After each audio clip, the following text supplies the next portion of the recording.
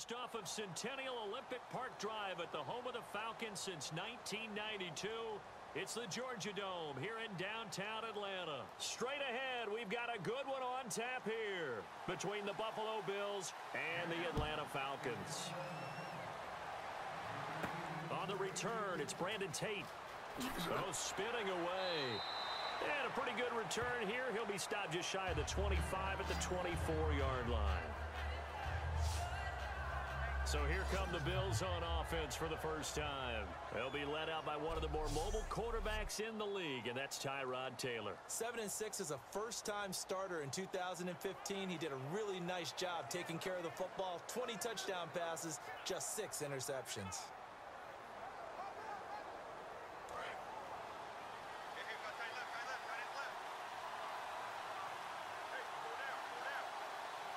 They come out here in the I. Here's the first carry for LeSean McCoy. And this defense feeling the encouragement. They stop him at the line of scrimmage on the first play of the afternoon.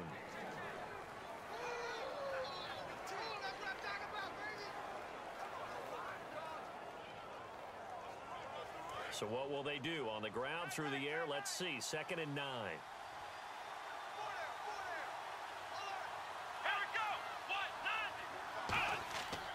Again, it's McCoy. They find some open field here. And he cuts it out to the sideline. And he finally goes down at the 23-yard line. It's a big run there by McCoy. 53 yards on the ground. Big run on the opening drive, and they better watch out for this guy or it's going to be a long game. Back when I played in our scouting reports getting ready for games, we'd put stars next to the guys that we thought were the key players on the other side. There should have been three or four stars next to that guy's name. Here we go! There's a carry now for Mike Gillislee. And he's going to get this one down inside the 15. A good run there on first down, and it'll leave him with a second and two.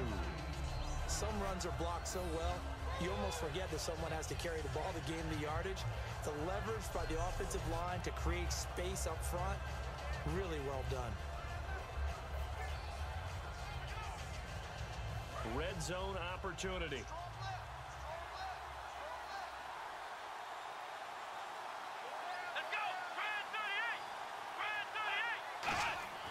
They stay on the ground. This is Gillislee again. And he's able to work it here to the eight-yard line. The six yards on the pickup, and it leaves him with a first and goal. But we always talk about good down and distance, allowing offenses to expand their playbook. Well, second and two, that means your playbook's wide open. You can run just about anything. But a lot of times, the play caller, he just looks down at his sheet, sees the short yardage runs, and goes to one of those. And a new set of downs here after picking up the first on the ground.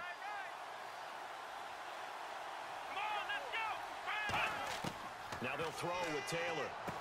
This will be caught at about the six. And he'll take it into the end zone for a Buffalo touchdown. Justin Hunter from eight yards out. And the Bills take it all the way down the field and score on the opening drive. Well, that's how they envisioned it. Get the football to start the game and score it. And I don't know if that was scripted. Was it an audible? Or was it just a play call that they had in their pocket? No matter what, they had the right call on against the right defense, and they end up in the end zone. Dan Carpenter now for the extra point. And it's 7-0 Buffalo.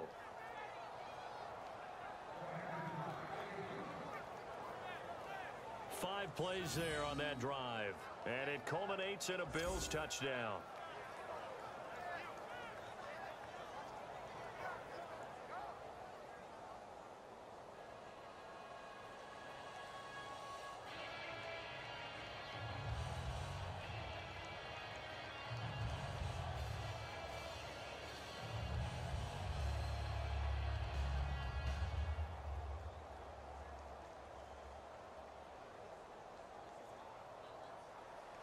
Out is the kickoff unit as they run up and send this one away. Here's Eric Weems now on the return. And he'll get across the 20 before he's brought down at about the 23-yard line. On Matt Bryant for the field goal try. From the right hash, and this one just a chippy. two minutes to go here in the first half. We're back to Atlanta right after this timeout.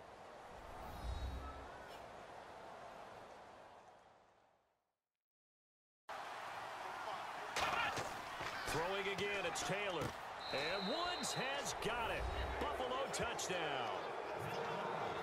Robert Woods in the final seconds of the first half. And the Bills will add on to their lead. That's one of the better examples of clock management I've seen. Whittled it all the way down just about and still put the ball in the end zone. Yeah, just a methodical drive and something really to take into the line. Run it or passed it. Either one was available. They chose to try and get it through the air, but they run successful. And with things looking pretty good on the scoreboard, they're going to keep the offense out there and go for it here on fourth. They'll try and throw for it with Taylor. Firing quickly here, and that's complete. And he's going to have the first down yardage to the 35. Give him nine on the play, and they're able to pick up the conversion here on fourth down.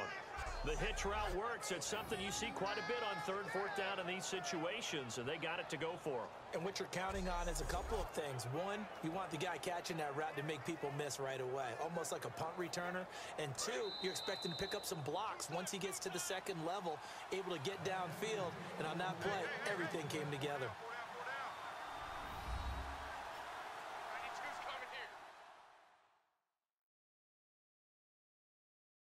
So it's Bills football here as we get you reset. And they have just about put this one on ice as they've got it here first and 10.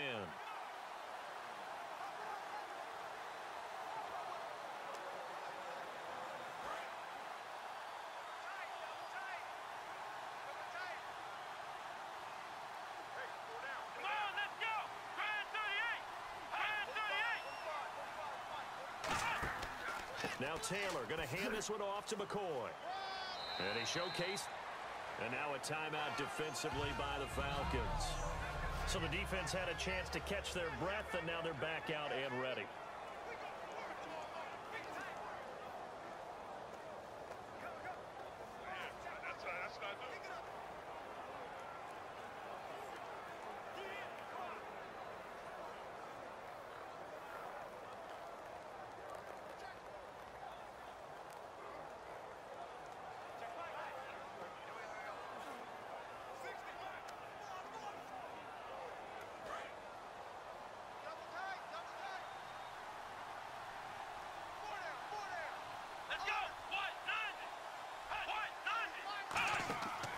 They'll go again to McCoy.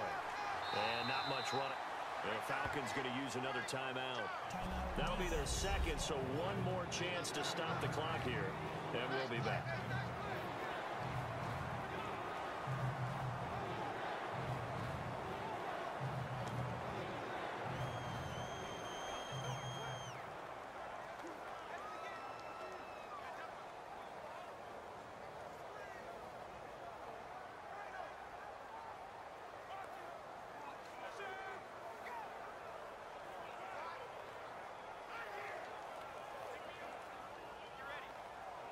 The 25-yard line is what they need here. This is third down.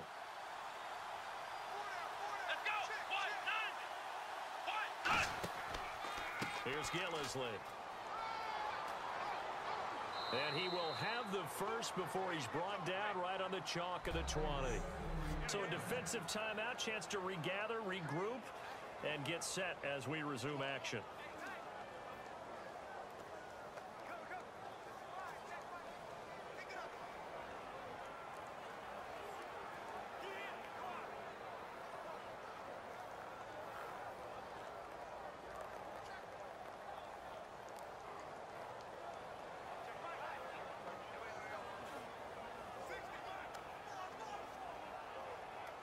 So they pick up the first down after the run, and now they approach for the fresh set. They come out with one back and three tight ends. Taylor with a give to McCoy. And able to get him down, but he does reach the five. A nice pickup of 14, and it moves the stick, sets up a first and goal. But we just saw him run the football really effectively there with three tight ends in the game. And any defensive coordinator, when they see that set, if they can get more bodies out onto the field. Not more than 11, of course, but bigger bodies to combat what they're going to do because that's a run-heavy formation. Those guys are out there to block nine times out of ten, and in this case, they did it really successfully. They'll say no gain on the play, and it'll be second and goal. So nothing there. I don't know that that's all in the back, though. You got to look at blocking there, don't you? I would agree with that totally. At some point, they have to win at the point of attack. Instead, it was the defense getting it done again and holding them to no gain.